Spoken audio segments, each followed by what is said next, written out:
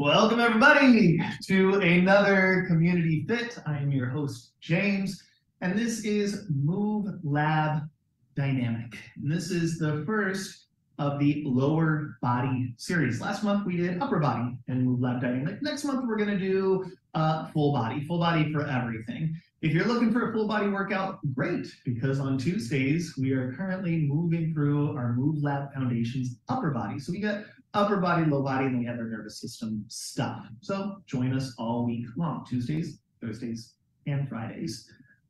For now, welcome to everyone new. If you um, are just joining us for the first time ever, Move Lab only has one rule to remember, and that's whatever you're doing, however you're moving, you're doing it 100% correctly because there are no wrong ways to move, just options and choices that have more and more self-awareness and discernment the more you practice. Meaning, the more you do it, the better you get at noticing what you're doing, and the better at better choices you get at it. So, repetition, repetition, repetition. We also follow a very distinct format here at Move Lab. We always start with a little breath work. We go right into our nervous system regulation exercises, practices. Why? Because movement, exercise, and the like is stress. It's positive stress on the body, and learning how to move through that and recognize symptoms and signals of stress is really healthy for all of us for a lot of different reasons. And then we couple that with our movement practice and kind of intermix all of it. So without further ado, let's go ahead and get started. We're going to start off with our breathing exercise for today. And the breathing exercise for today is going to be some diaphragmatic breath. Why? Because low body ends all the way up in the diaphragm, technically speaking meaning the muscles that join the legs into the body go all the way up into the diaphragm. So we need to start there. Here's what we're going to do. We're going to interlace the fingers, and that diaphragm muscle, when it's relaxed, rests all the way up in the rib cage. When I do an inhale, that diaphragm pulls down, and that's what sucks in air. So we don't need to be big. We don't need to be small. We don't need to be fast. We don't need to be slow. We just need to be conscious. If you don't want to sit like this, don't sit like this. Sit however you'd like. Stand. As you pull your hands down, let that inhale happen. Exhale. Feel the hands move up.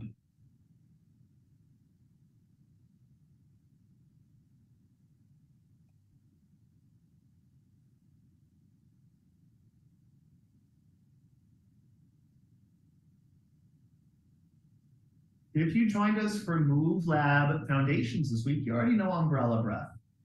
Maybe you want to imagine umbrella breathing happening as you're doing diaphragmatic breathing.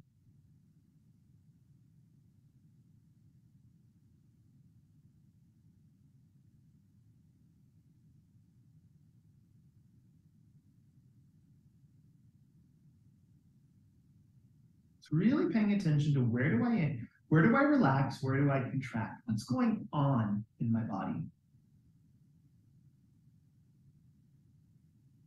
Now, if that's interesting for you, keep doing that thing. If not, just breathe like a normal human being. Bring your hands together, get them warmed up, and maybe today you want to place them here, you want to place them here, here, wherever it is that would feel good. Or maybe since we're working on low body, maybe I just want to do a little bit in my belly or in my low back, or in my hips.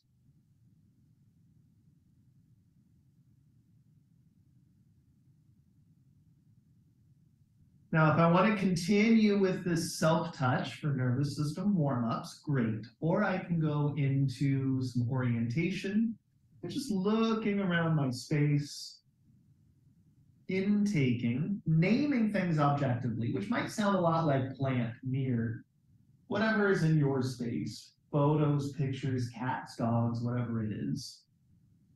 Or going into a little lateral sway, right, left. These are all tools you can come back to to reset and restore as you need. Meaning, if you get a little worked up, you get a little hyper vigilant or disembodied, maybe uh, pausing, going in a little breath, a little touch, a little sway might help to recenter and calm and make the workout not only more fulfilling, but actually technically better. We work out better if we are in nervous system, if we have a more regulated nervous system. Now, let's get into some movement. We're gonna start, you know, again, typically when we're thinking low body, we're thinking quads and hamstrings, maybe glutes, maybe even low abs. We'll get there. But we're gonna start lower. We're gonna start all the way down in the feet. So for today, we're going to outstretch our legs and we're gonna point and we're gonna flex. If you were in Move Lab Foundation, this is very similar to how we started there. So none of these practices should be new to you. Pointing, toes are long, flexing, heels are long, toes, heels. Only here, we're gonna point with one, flex with the other. How do you know you're doing it right? Well, it should look pleasing to the eyes. So if it's sort of like crumpled and crinkled and moving weird, no, you might need some finessing on that. Then flex. Soles of the feet points to each other and then away from each other. As you do this, can you resist the urge to point um, to let the toes kind of come closer to the ground or closer to each other. We're really kind of imagining that the feet are like two poles, two pillars, and they're just rotating on their own axis.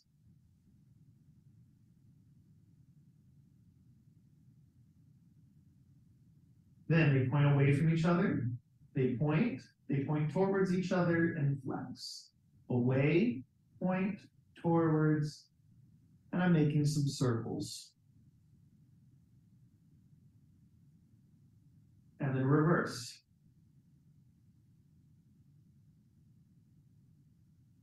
And it's really easy to kind of rush through these.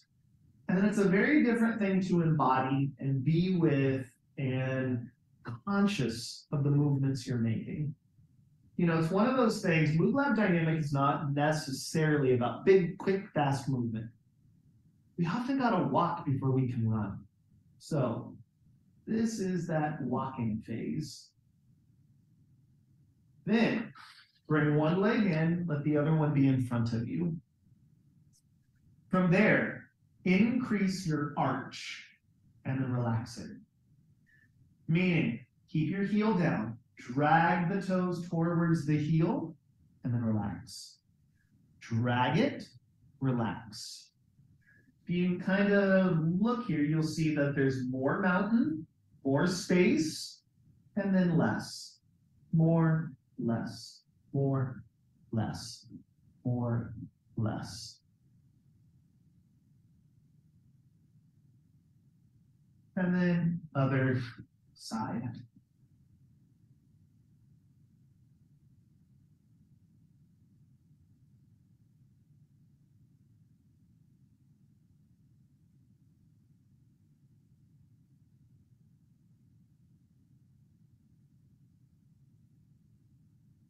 And relax.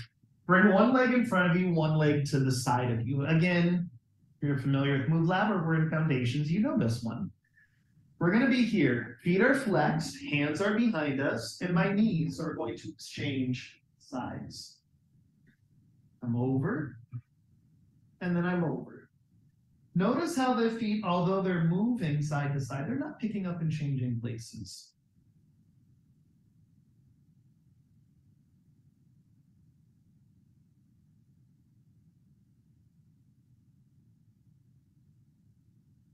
Now go to one side. The other hand, the hand you left behind, reaches, stretches, comes back, other side. Reach, stretch, come back.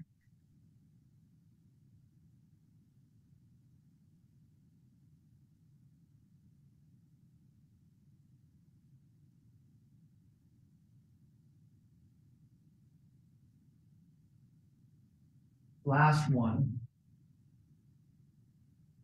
Stretch your legs out in front of you. Let them be opened up relatively wide.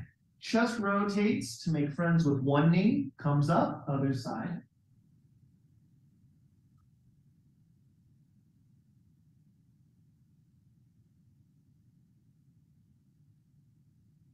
Three, and two, and one. Go ahead and lay all the way down. From there, we're going to take the legs up to a tabletop. We're gonna put the hands on the front of the knees, so the side of the knees facing you, low quads. From there, I'm going to push my arms straight and I'm gonna pull my knees into my hands. I should feel a lot of low ab. I'm gonna hold. Four, three, two, relax. Ah. This is one of those sequences that you got to put the work in. You got to pull your knees and push with your arms in order for it to work. Just like this next one, I put my hands on the outside and I try to really open up the knees as I pull in.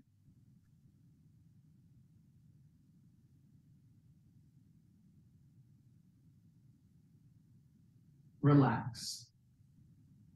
Ah. Hands go to the inside. I really try to pull them together and resist with my arms. Relax. Hands go behind the thighs.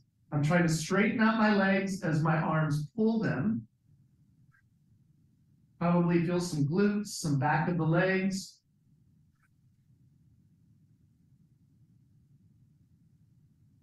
And uh, stretch one leg out, pick the other leg up. Flex, point, flex, point, one more, flex, point. That leg goes down and comes back up.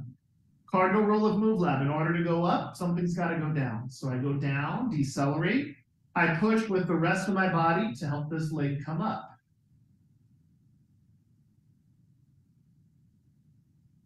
I can keep doing that or circle it and up, circle it and up, circle it up, circle it, reverse.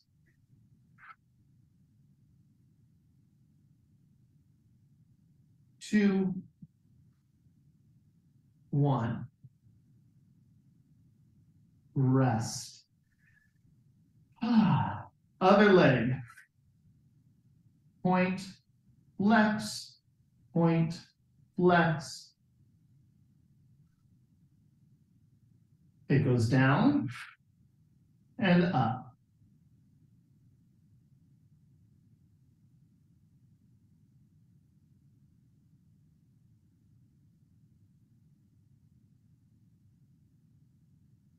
Circles.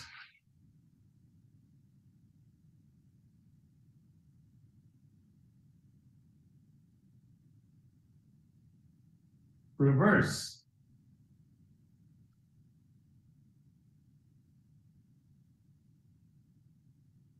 Last one. Rest. Ah. Turning over onto your side, looking at your screen, wherever that is. Legs are going to be straight. From there, flex your feet and see if you can get your hips relatively stacked, meaning that top one's not behind, in front of, further away or closer to than the bottom one. It's right there. Flex your feet, push your bottom foot into the mat. Top leg lifts and lowers. If you're feeling a lot in the front of your thigh, in the hip crease area, hip flexor area, you probably rolled backwards. Roll a little forward and really concentrate on lifting through the heel. Lift, lower.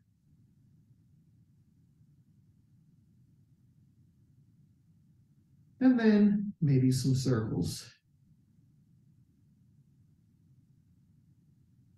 In reverse.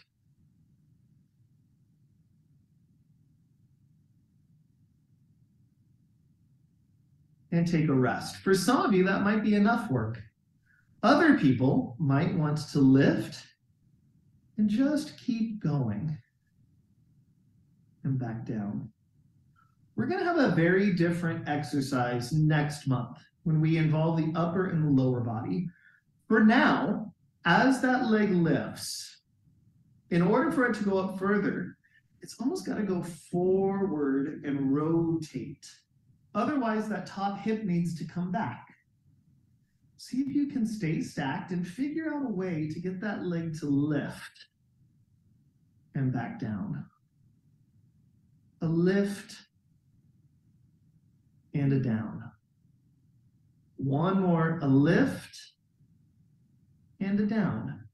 Now, lift it up to about hip height. Take it as far in front of you as you'd like. Don't let the hips move. Go down and touch. Go backwards as far as you'd like. Can you keep your hips stacked? Down, touch.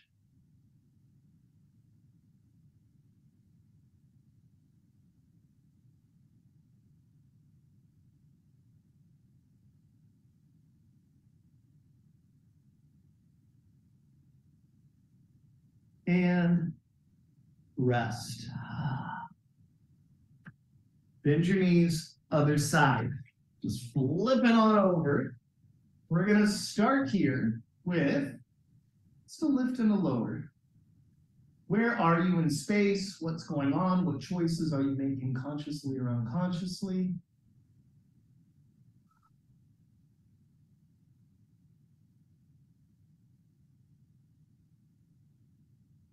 Up in circles.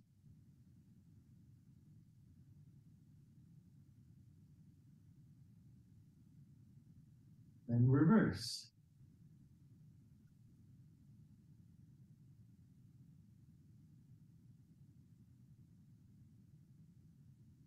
And take a breather.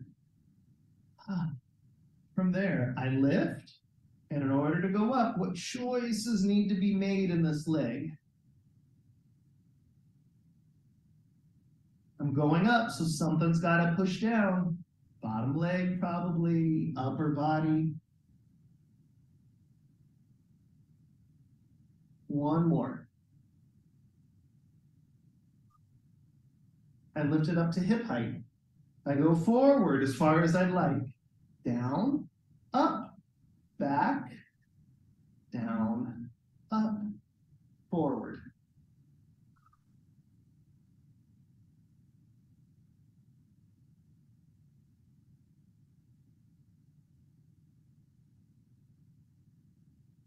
Last one.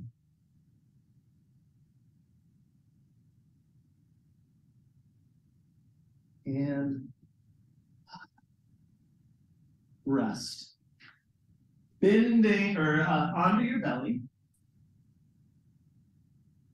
Get the front of your hips as close to the ground as possible. Usually when we're here, it's like pubic bone down, hip joints away. Let your tailbone be kind of um, relaxed. Feel the arch in the low back and hold. You can be down here, you can be up here, your choice. Can you keep your pelvis where it's at and bend at one knee and then back down? Keep your pelvis where it's at, bend at the other knee and back down. And if you've got that, can you bend, bend, down?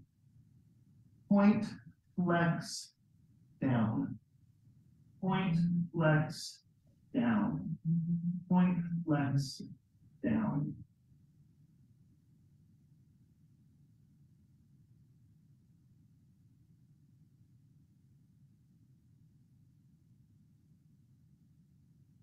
Four, three, two, one. Ah. Hands go underneath you. You are up to hands and knees and back down onto your heels. If your knees don't allow for this, you know by now to stick something behind your knees and working your way towards something more like this. Let the big toes touch, let the heels cup the buttocks, and we're gonna rock right and left, right and left. Find your center, push down to come up and decelerate back down. Push down to go up, decelerate. Now, continue to do that. I'm going to face this direction so you can kind of see better. I can just come up as is, or rocking right and left. Notice this isn't a seaweed spine, it's rocking right and left. It's like a hula hoop uh, sway through the hips. And keep that going as you go up and as you go back down. Up and down. Up, down. One more up. One more down. From there, we're going to come on up. We're going to tuck the toes. We're going to go back down. We're going to come back up. We're going to go back down. Up and down. Up. Notice how my head, my chest, and my pelvis stay more or less aligned.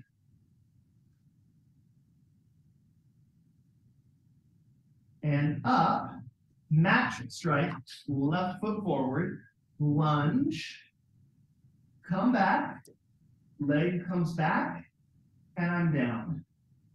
Up, match strike, lunge, back, down. For those of you who are new to match striking, we go up, this leg comes straight through, you'll hear it drag, that's like a match striking, versus hurdling the leg. Forward, I lunge, I come back, I replace, I'm down. I'm up, strike, lunge, back, replace, down. Two more each side.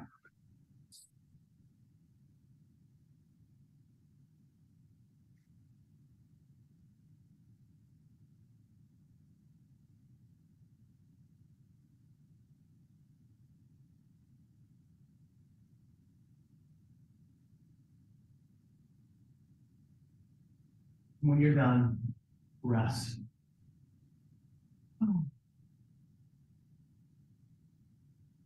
Little relaxation, little bit ah, regulation.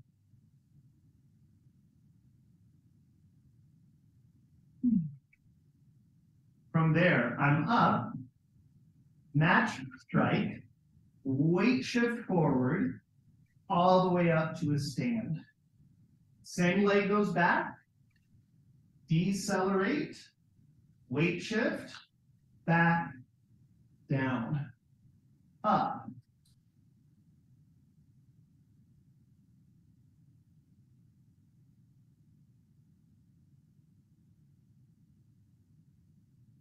Making choices, how do you want your feet? Which leg steps forward? Which leg supports?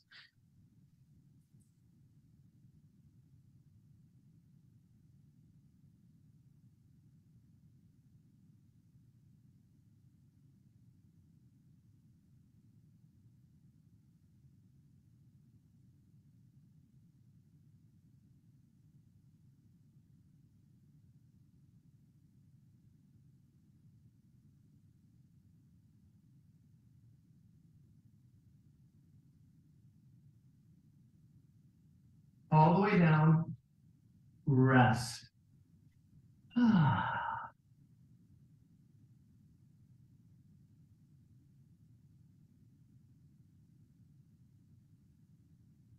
Reach the legs back out in front of you. Take your hands under your legs. Paint your legs your favorite color. Like your hands have just dipped in the favorite color of today, and they're painting the inside, backside, front of the legs.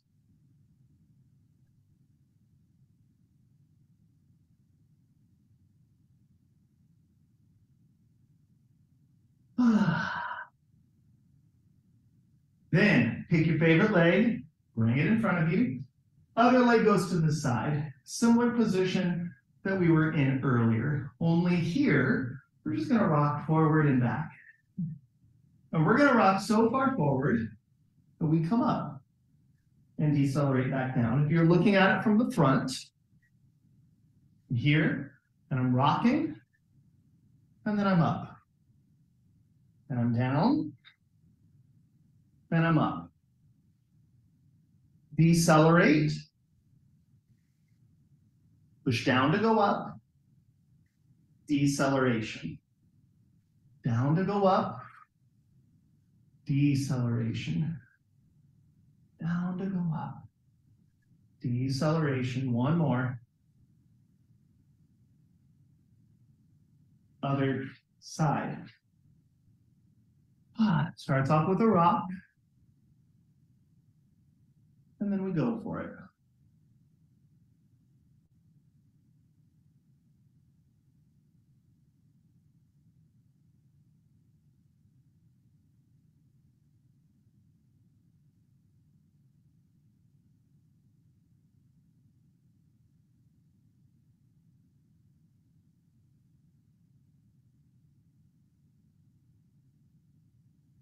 One more.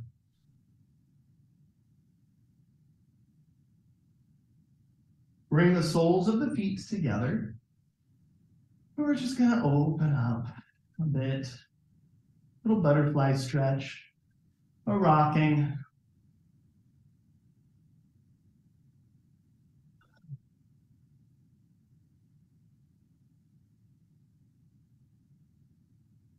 And then we're gonna bring our feet out in front of us. We're gonna move our arms behind us. Fingertips can face back or fingertips can face out to the side. Your choice. Feet and arms are going to push down so much that my hips go up.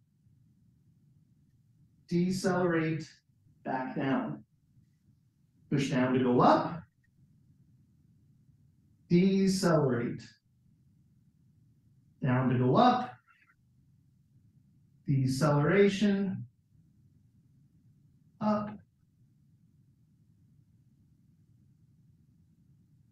Two. And one.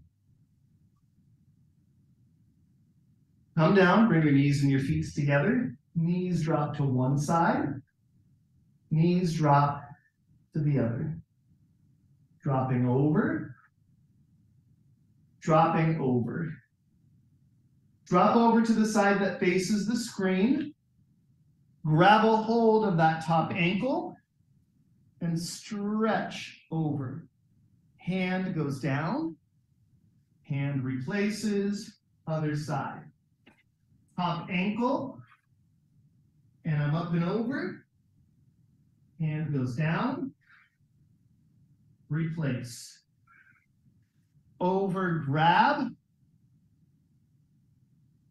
down, replace. One more each side.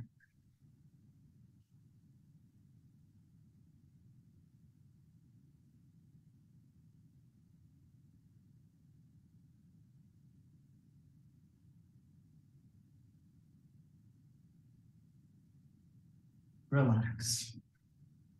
Grab a hold of your favorite foot. And just begin to give the bottom of the foot like a massage, like you're like you're petting a dog almost. A little lighter, a little heavier, and maybe all over. Just kind of rubbing. Maybe like you're gonna do like a regular massage. Really get in there.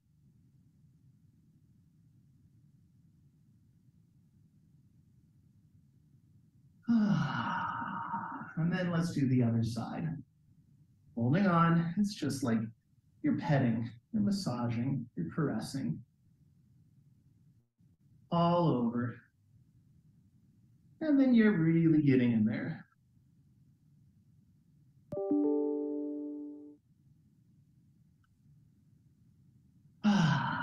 Think about what was difficult, what you enjoyed, what will you practice? What are going to be the things you practice over the next week and next few months? Then put your hands on your heart. Take a nice deep inhale into your own hands and your own heart. Tell yourself thank you for showing up. Take a look around your space. It influenced the way you moved today. You made choices because of and around it. Then take a look at anyone on screen, anyone in the room with you. Tell your community thank you. We appreciate so much you inviting us into yours and you being a part of our community. I will see you very, very soon. Thank you so much. Bye, everyone.